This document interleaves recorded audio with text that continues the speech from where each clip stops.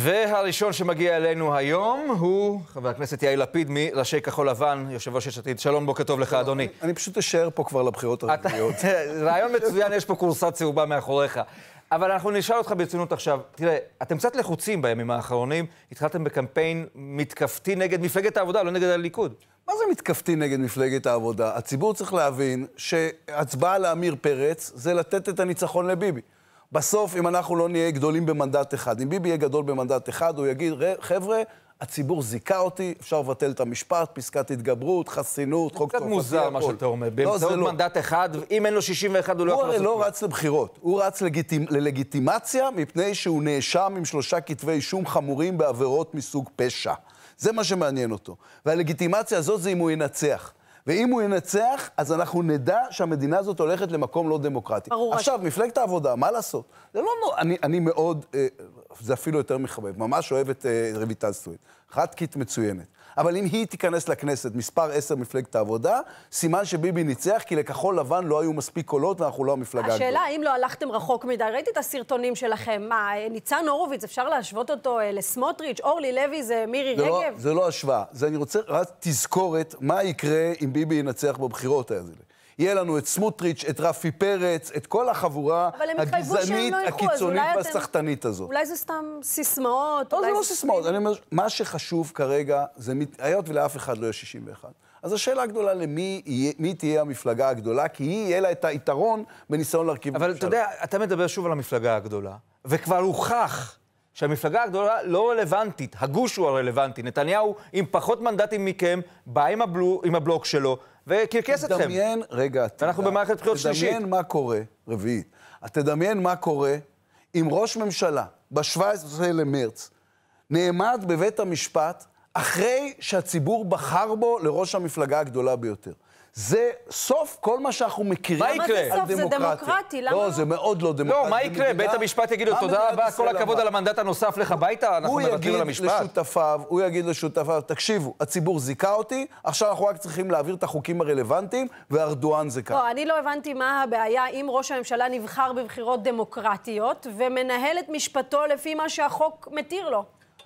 יש, א', לא כל, ה... לא כל העולם הוא רק חוק. יש גם עניין של ערכים ואיזה מדינה אנחנו ומה חושבים עלינו בעולם, וכמה זמן יש לו לטפל בבעיות המדינה, אם הוא עומד למשפט כל היום, מה, הוא ילך בקבינט בלילה ובבית המשפט ביום. יש סדרה של דברים מעבר לשאלה אם זה חוקי או לא חוקי. אבל מעבר, השאלה אם מדינת ישראל תיתן או לא תיתן לגיטימציה לנאשם במעשים, okay. אוקיי. בעבירות חמורות. אם היא תיתן, אתה מקבל את ההכרעה? אם היא תיתן, אתה מקבל את ההכרעה? אני אקבל כל הכרעה של הבוחר, אני יכול אבל, תראי, מה זה, מה זה ללכת לחיים פוליטיים? זה לנסות לעצב סדרי עדיפויות שאתה חושב שהם נכונים למדינה. אבל אתה יודע, אתה משווה, אתם משווים עכשיו את uh, ראש הממשלה, את ראש ממשלת ישראל לארדואן, שונא ישראל אנטישמי, בן אדם שתוקף אותנו ומדבר בגנותנו, זה בנימין נתניהו, ארדואן? גם בטורקיה. העובד... המעבר שלה ממדינה דמוקרטית למדינה לא דמוקרטית לא היה עם נשק. זה היה פשוט בזה שארדואן... זה לא מה ששאלתי. אחרי חוק שאלתי אם נתניהו הוא שונא כן. ישראל כמו ארדואן. ארדואן. נתניהו הוא לא שונא ישראל, נתניהו הוא שליט שאיבד עניין בדמוקרטיה. הוא מבין שאם תהיה פה דמוקרטיה הוא הולך לבית סוהר, אז הוא החליט שעדיף שלא תהיה פה דמוקרטיה. את זה צריך לעצור. מה קרה בטורקיה? אתם יודעים מה קרה בטורקיה? לא היו מספיק אנשים טובים שהתייצבו בזמן ועצרו את התהליך. אז אנחנו מספיק אנשים טובים שמתייצבים בזמן לעצור את התהליך. השאלה האם הקמפיין הזה לא מסית כלפיו, בדיוק כמו שאתם טוענים שהוא עושה כלפיכם. בואי, אני הסתכלתי על, על האתר שלכם בדרך הנה, הייתי פשוט עם הטלפון ביד בנסיעה הנה, והיה שם פשוט הכפשות איומות על בני גנץ מתחת לכל חגורה אפשרית.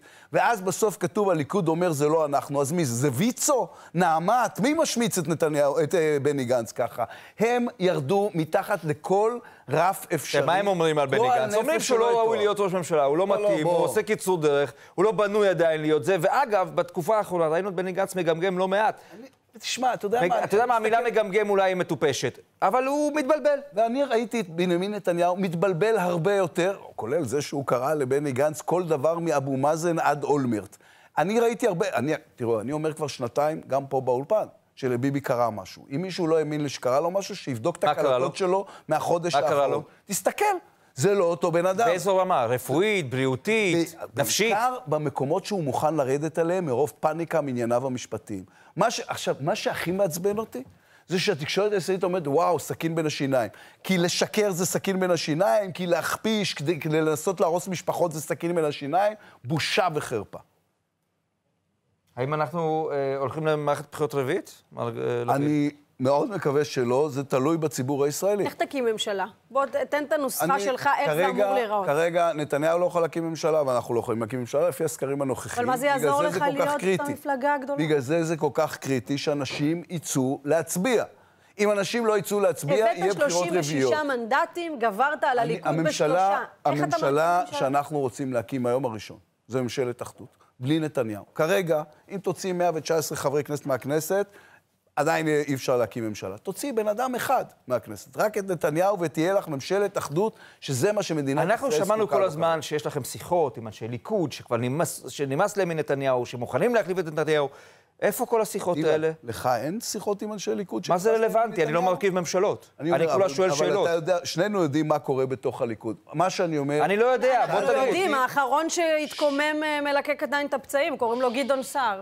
אה, זה, אכן, שאלתם אותי איזה ממשלה אנחנו רוצים להקים, התשובה היא ממשלת אחדות עם הליכוד בלי נתניהו. איך תעשו את זה? נחכה לתוצאות הבאות, אני יותר מדי מנוסה בשביל ארבעה ימים לפני אתה חושב שיש כבר, מספיק אה, אנשים בליכוד שיגידו למר נתניהו להתראות תודה? אני שואל את עצמי אם יש מספיק אנשים בליכוד שהם אחראים ומבינים שהמדינה לא יכולה להמשיך להתנהל ככה, שאי אפשר שנושאים כמו החינוך המיוחד והביטחון ייזרקו הצידה בגלל הבעיות המשפטיות שנראה. הרשימה? אתה מקבל את הטענה של אה, נתניהו אה, וסביבתו שהמערכות כולן שומרות עליכם? אני מדברת על הממד החמישי, על קלטות אשכנזי, על כל המעטפת הזאת שהם טוענים שאתם מקבלים. אם משהו, אז הפוך. כי אני מסתכל על זה, באותו יום שבו הייתה הדלפה על המימד החמישי, שאני מזכיר לכם, פרשה שבני גנץ לא חשוד בה בדבר, הייתה הדלפה באותו יום ובאותה מהדורה, אומרת, ש... זה הצפצוף של השבע... פספסת שלוש. ואני אגמור את המשפט. זו הייתה הדלפה שאומרת שתיק המניות צוללות נפתח מחדש.